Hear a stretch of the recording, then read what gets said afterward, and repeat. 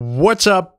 Welcome. Linkin Park has dropped a new song, a second single to the upcoming album From Zero. This one's called Heavy is the Crown. This is not just a regular old song, not just a regular old single, it's a League of Legends Worlds 2024 anthem. For those of you who are out of the loop, Worlds is one of the biggest esports events of the year. It's for the game League of Legends. Personally, I never played League of Legends, never was into it, never was into that entire genre of video games. But you know, I, I, I like a good lore. I like a good uh, good world building, and it seems like League of Legends have plenty of that. And specifically today, I'm interested in the Linkin Park lore because this is Heavy is the Crown. Linkin Park, let's do it.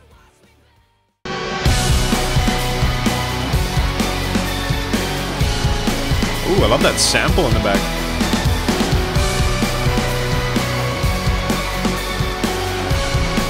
Meteora vibes immediately, goddamn. It's pouring in, you're laid on the floor again. One knock at the door and then we both know how the story ends. Oh, You yes. If your white flags out when the war begins. Aiming so high, This is much more lively than the first single, for sure. Hold it inside and hope it won't show. I'm saying it's not, but inside I know. Today's gonna be the day you. The animation is sick. I'm tired of explaining what the joke is. This is what you asked for. Heavy is the crown. Fire in the sunrise. Ashes raining down. Try to hold it in, but it keeps bleeding out. Hmm. This is what you asked for. Okay. Heavy is the, heavy is the crown. The chorus is actually kind of kind of nutty. I think, uh, immediately this Said, "Don't turn vibe back this path once it's begun." You're already on that list. is much more in line with what I resist. Waving that sword when the expect, what I like. miss. Watch it all falling apart Big fan.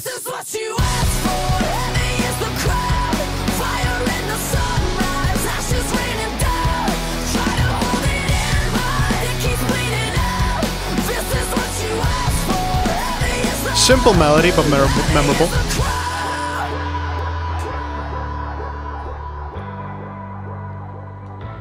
for.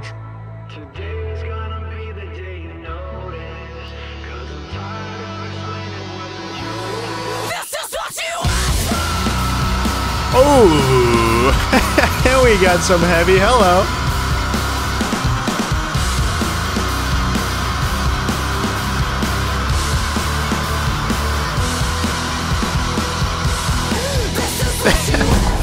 They got that long ass scream in there. That's that's that's good. That's funny. A little nod to giving up. I think I saw a short clip of this. On Twitter. She holds that note pretty decently live. I didn't know what song it was from. I was like, okay, this is it.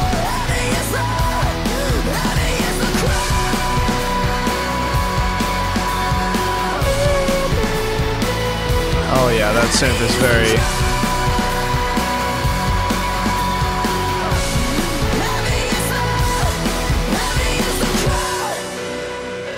Sick. Very Meteora-esque. Very Meteora-esque. I'm a big fan of that. I'm a big fan of Meteora vibes. Well, ladies and gentlemen, that was League of Legends uh, Worlds 2024 anthem Linkin Park Heavy is the Crown, a second single from the new album From Zero. It's crazy to even be able to say those words, you know? The fact that we're getting a new album from Linkin Park and regular new singles from Linkin Park is kind of it's kind of weird. It's kind of weird and um not something on my bingo card this year for sure. So, what do I think of the song? I think the song is much more in line with what the kind of older fan base of Linkin Park is used to. It's it's very clear to me that it's getting that Meteora, the first three albums for sure, that vibe, especially Meteora to me.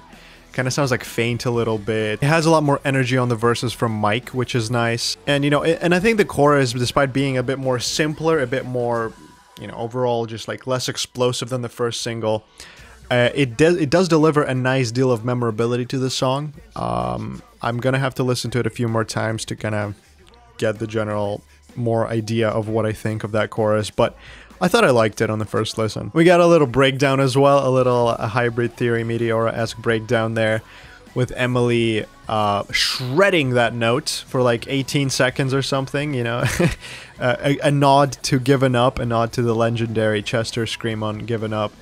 Um, it sounds sick. It sounds pretty cool. Uh, a bit out of nowhere in the song, but I like it nonetheless. Like I said, I think I saw a little clip of this song on Twitter before it officially came out. Someone was filming like a live performance and they played that song. So Emily can actually hold that note for basically the entire duration of it, which as I was really impressed by. It takes a lot of work and it takes a lot of practice, and um, to see her perform that live just as well as it sounds in the studio is truly you know commendable. I think this is a fine song. I think this is a song i'm gonna listen to a lot more than the than the first single emptiness machine. Uh this is definitely more in line with what i love uh, about linkin park. And for sure for sure my favorite single from now on. As far as the visuals go god damn uh it's it looks sick. The animation looks sick. Um arcane is still on my list to watch. Uh i i haven't quite checked it out yet but i believe the art style is somewhat similar to to that show so uh, it's kind of a nice little taste uh, for what it looks like. Sick animation, sick uh, live. It looked like a motion capture of Linkin Park members actually in the video. You know, it's it's cool that they they got this uh, invitation to be the anthem for League of Legends Worlds. Um, pretty sick, pretty sick visual uh, to accompany the song. Yeah, it's a, it's another really really cool track from this new era of Linkin Park. It still feels a little bit weird. I I I would be lying if I didn't tell you that it still feels a little bit strange to me. Um, I'm gonna form my opinion when I listen to that entire album. Something tells me this album is gonna dive into a lot more of the earlier um, Linkin Park influences, which makes me happy uh, and cautiously excited.